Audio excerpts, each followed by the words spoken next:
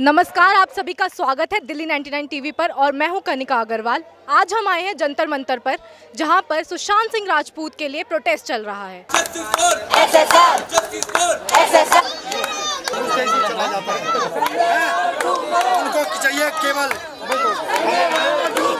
और आज हमारे साथ हैं पटना से ही एक आर्टिस्ट जो सुशांत के लिए स्पेशली दिल्ली आए हैं और उनके लिए न्याय की मांग कर रहे हैं। सबसे पहले तो नमस्कार, मैं दिल्ली 99 के सभी इंटायर टीम को बहुत बहुत धन्यवाद देता हूँ कि आप दिन रात लगे हुए हैं इस मुहिम को प्रोटेस्ट करने में। इस मुहिम में आप दिन रात लग के कवरेज कर रहे हैं और मैं एक बात बता दूँ कि सबसे पहले एक आर्टिस्ट एक अच्छा इंसान होता है। तो सुशांत सिंह राजपूत हमारे बिहार का बेटा था और बिहार की माटी की जो तिलक है ना, वो किसी के माथे पे लग जाती है ना तो मतलब कि उसका वो बोलते हैं ना कि वो एकदम शिखर पे चला जाता है। और आज जो सुशांत सिंह के साथ हुआ है, वो पूर्णतः गलत है और मैं इस बात का पूर्णतः खंडन करता हूँ कि सुशांत सिंह ने आत्महत्या की। आप आप इस बात पे क्या कहना चाहेंगे कि सीबीआई जो है उसकी जाँच सही दिशा पे जा रही है या नहीं? सीबीआई अपनी जाँच, अपने, अपना काम कर रही है। सीबीआई में अभी दोबारा 302 की मांग हुई थी तो सीबीआई अब हत्या के एंगल से अपनी जाँच कर रही है। लेकिन मैं एक बात आपको बताता हूँ, जहाँ की अभी उड़ते उड़ते अफवाह आ रही है कि एम्स हैं शायद उन्होंने बता दिया है कि ये आत्महत्या है या इस तरह का कोई ये है, लेकिन ऐसा कुछ तो नहीं है। वो सारी देश, दुनिया के सामने है ये।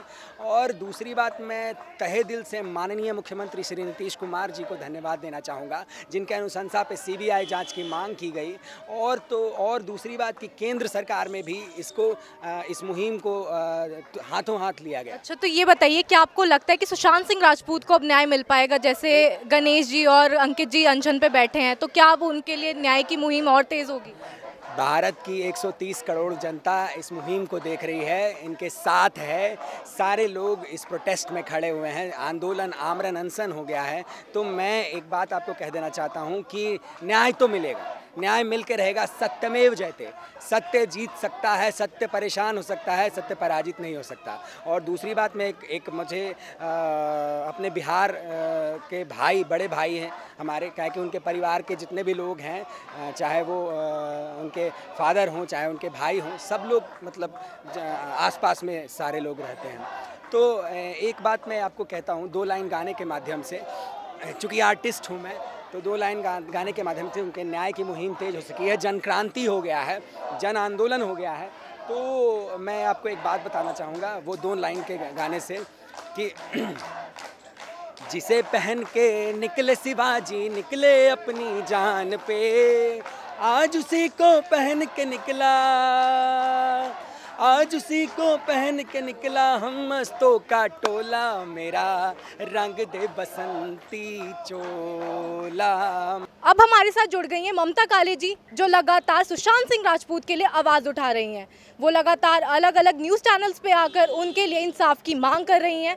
तो अब उनसे जानते हैं कि क्या उनको सीबीआई पे भरोसा है, क्या सुशांत को न्याय मिल पाएगा। आ, बिल्कुल सीबीआई पे ना भरोसा करने का कोई मतलब नहीं है। सीबीआई बहुत त्वरित और बहुत अच्छी गति से काम कर रही है। हमारे देश की एक बहुत ही उम्दा इन्वेस्टिगेटिव एजेंसी है। हम डे वन से ये कह रहे हैं कि ये सुशांत सिंह राजपूत की आत्महत्या नहीं है यह हत्या है। इसमें कोई दो राय नहीं है। और ये जनता की पब्लिक की या हम सारे लोग तमाम लोग जो आवाज़ उठा रहे हैं उनकी कोई कंस्पेरेसी थ्योरी नहीं है। जितने भी सबूत हैं वो इसी और इशारा करते हैं कि सुशांत सिंह राजपूत की रहस्यमयी हत्या की गई है। अब यहाँ तक बोल दिया गया है बहुत ही जिम्मेदार लोगों ने महाराष्ट्र मुंबई के बोला है कि तेरह तारीख की रात को सुशांत और रिया साथ में थे। रिया, सुशांत ने रिया को उनके घर में छोड़ा था। एक पार्टी में वो गए थे। तो ऐसा क्या उस पार्टी के अंदर हुआ? ऐसी कौन से तथ्य हैं जो वहाँ पर महाराष्ट्र की सरकार या मुंबई के सीनियर पुलिस वाले, मैं सारी पुलिस को नहीं बोलती हूँ, सीनियर पुलिस वाले छुपाने की कोशिश कर रहे हैं। और क्यों छुपाने की कोशिश कर रहे हैं? आप क्यों नहीं जानते, चाहते कि हिंदुस्तान की जनता को सच्चाई मालूम पड़े? या सुशांत सिंह राजपूत, जो बच्चे के निर्मम तरीके से उसको मारा गया है, वो इस दुनिया में नहीं है अपनी पैरवी करने के लिए तो क्यों उस लड़के को न्याय ना मिले? क्यों उस चौहत्तर वर्ष के पिता को दर दर भटकना पड़ रहा है? आप सोचिए इतना हाई प्रोफ़ाइल केस है ये। इतने दो दो डेथ हुई हैं दिशा की और सुशांत की।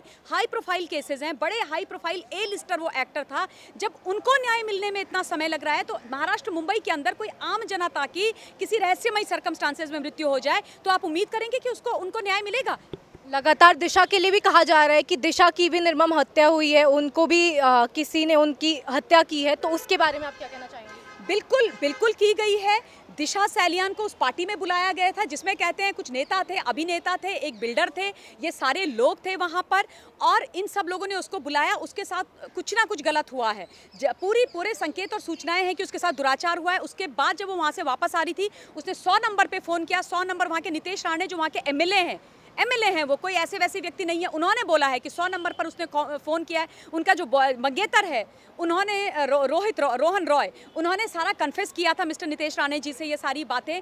तो और उसके बाद फोर्टीन फ्लोर से उसके उस कहते हैं कि उसने जंप करके कूद के हत्या करी। सोचो आप अगर कोई फोर्टीन फ्लोर से आत्महत्या करने के लिए कूदेगा तो वो इंसान कैसे गिरेगा? ऐसे नीचे गिरेगा ना? बिल वो लड़की उछल के 20 फुट दूर जाके बाहर गिरी है। ऐसा कौन आत्महत्या करता है? कौन सी लड़की आत्महत्या करेगी बिना वस्त्र के इस तरीके से? कौन सी लड़की अपनी अस्मिता को लुटाना चाहेगी अपनी मौत के बाद? क्यों किस क्यों नहीं तुम सामने लेकर के आ जाते उन हथियारों को जिन्होंने पकड़ के उसको 20 फुट दूर पे फेंका है? तो कोई ना कोई तथ्य है और उसके बाद देखिए अगर इसमें इस अगर वो अगर ये आत्महत्या थी अगर ये एक्सीडेंटल मौत थी तो फिर कैसे दिशा सैलियान की जो केस की जो फाइल्स हैं वो मुंबई पुलिस से डिलीट हो गई। आप सोचो पुलिस को हम जानते हैं, पुलिस बहुत जिम्मेदार होती है। मुंबई की पुलिस, वो पुलिस जिससे माफिया थर्राते थे। माफियाओं को ऐसे भगा दिया जाता था। आज उस मुंबई पुलिस की कुछ टॉप कॉप्स टॉप कॉप्स की वजह से लेगेसी खराब हो रही है। और वो इतने गैर जिम्मेदाराना कैसे हो सकते हैं कि वो सारी की सारी फ़ाइल डिलीट कर दें? हमने ये भी देखा कि कंगना जी का भी ऑफ़िस गिरा दिया गया और लगातार उद्धव सरकार की मनमानी देखी जा रही है। तो उसके बारे में कुछ कहना चाहेंगे? उद्धव सरकार मेरे हिसाब से, महाराष्ट्र की जो सरकार है, जिसके मुखिया अभी उद्धव ठाकरे जी हैं, वो मेरे हिसाब से निरंकुश सरकार है, मुगलों की सरकार है वो एक ऐसी सरकार है जिसको मैं पूरी तरीके से फासिस्ट सरकार मानती हूँ। फासिज्म का अगर आपको कोई रोल मॉडल देखना है, असली रूप देखना है तो महाराष्ट्र की सरकार को आज आप देखिए। ये वो सरकार है जो राइट टू डिसेंट देने में विश्वास नहीं रखती है। ये वो सरकार है, अगर तुम इनके सामने बोलोगे कि हमें न्याय चाहिए, आप गलत कर रहे हो, हम चाहते हैं कि आप न्याय करो तो ये आपके घर पर बुलडोजर चला जाएँगे। बासठ वर्ष के नेवल वेटरन को इन्होंने सड़कों पर दौड़ा दौड़ा के मारा। शिव सैनिक कहलाने वाले सड़क के गुंडे छत्रपति शिवाजी महाराज का नाम बदनाम करने वाले ये लोग। और ये होते कौन है ये बोलने वाले कि छत्रपति शिवाजी महाराज हमारे हैं? इनके नहीं है खाली। छत्रपति शिवाजी महाराज, हिंदुस्तान का गौरव, मान, सम्मान हमारा इतिहास थे, हैं और रहेंगे। और मैं इनसे बार बार ये बात बोल रही हूँ, हर फोरम से बोलती हूँ। और बोलती रहूँगी कि आपको कोई हक नहीं है अपने आगे शिव सैनिक लिखने का। कोई हक नहीं है। आप शिवजी भगवान का, छत्रपति शिवाजी महाराज का, सबकी अवहेलना कर रहे हो। और और आज आप शर्मिंदा कर रहे हो परम आदरणीय, परम श्रद्धेय बाला साहब ठाकरे जी को भी, जिनका मैं दिल से सम्मान करती हूँ, जो कभी कभी भी किसी महिला का ऐसा निरादर नहीं करते जैसा कंगना का हुआ है। कभी बासठ वर्ष के एक नेवल वेटरन को नहीं मारते कभी पत्रकारों को जेल में नहीं डालते। एक यूट्यूबर को पकड़ करके इन्होंने जेल में डाल दिया क्या गलती थी उसकी? क्या ओला ड्राइवर तक को भी डाला था? वो आर भारत के जो पत्रकार थे उनके साथ वो ओला ड्राइवर को भी डाला था। पहले उनको डाला गया। उन उन पत्रकारों की क्या गलती थी? उन्होंने सिर्फ़ ये पूछा था कि ये क्या उद्धव ठाकरे जी का घर है? ये क्या क्राइम है? कौन से कानून की धारा में लिखा हुआ है? बताओ मुझे। कौन सी सीआरपीसी आईपीसी जो निकालनी है, निकालो। बताओ ना, दिखाओ ना हमको। कहाँ लिखा हुआ है कि किसी के घर का पता पूछना क्राइम है? अगर आज मैं यहाँ पर आई हुई हूँ, लोग मुझे पूछते हैं, आपका नाम ममता काले है? आप ममता काले जी हैं, ये क्राइम है क्या? ये क्राइम है? क्या मैं पुलिस को जाके बोलूँगी कि ये मेरे मेरे को मारने की साजिश कर रहे हैं? क्या हमने हमने ये भी देखा कि रिया ने एक इंटरव्यू दिया जिसमें उसने खुद को सही साबित करने की कोशिश की और ये बताया कि सुशांत जो है वो ड्रग्स लेते थे। और उन्होंने आ, स, आगे जाके जब उनका अरेस्ट हुआ तब उन्होंने आगे कई नाम भी उजागर किए बॉलीवुड सेलिब्रिटीज़ के। एक ड्रग नेक्सेस सामने आया बॉलीवुड का। तो उसके बारे में क्या कहना चाहिए देखिए जहाँ तक बॉलीवुड का सवाल है ये कोई रॉकेट साइंस नहीं है, ये कोई हिडन सीक्रेट नहीं है। ओपन सीक्रेट है कि बॉलीवुड के अंदर नार्कोटिक्स का गंदा, धंधा चलता था, चलता है और रेप पार्टीज़ होती हैं। ये लोग नार्केट नारकोटिक्स का लेन देन करते हैं, सेवन भी करते हैं, पजेस भी करते हैं और उसमें पेडलिंग का काम भी करते हैं। अभी जितने भी ये ए लिस्टर्स के नाम आ रहे हैं, अभी तो एक्टर्स के भी आने वाले हैं, उनको भी समझ जाने वाले हैं। ये लोग खाते भी हैं और उससे पैसा कमाते भी हैं। ये केवल इलीगल एक्टिविटी की बात नहीं है ये एंटी नेशनल एक्टिविटीज़ की बात है। ये जब आप नार्कोटिक्स खरीदते हो जब आप ड्रग्स खरीदते हो चाइना और पाकिस्तान से आता है आप अंडरवर्ल्ड से अंडरवर्ल्ड से आप खरीदते हो डी कंपनी से खरीदते हो और ये हमारा जो हार्डन का पैसा है वो आप आतंकवादियों को दे रहे हो।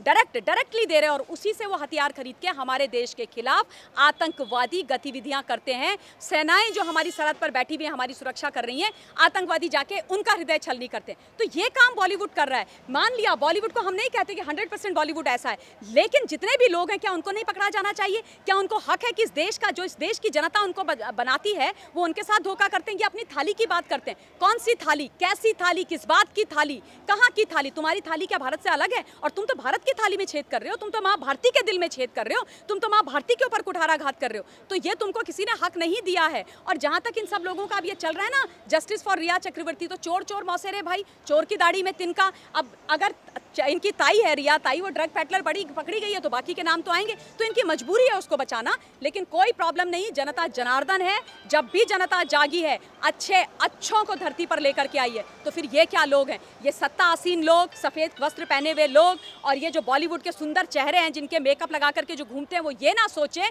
कि इनका अन्याय हिंदुस्तान की जनता सहेगी, नहीं सहेगी। जनता जब जागती है ना तो अच्छे अच्छों की छुट्टी कर देती है। तो आखिर में आप सुशांत सिंह राजपूत के लिए क्या कहना चाहेंगे? जैसे आप यहाँ पे आई हैं स्पेशली उनके लिए तो उनके बारे में कुछ।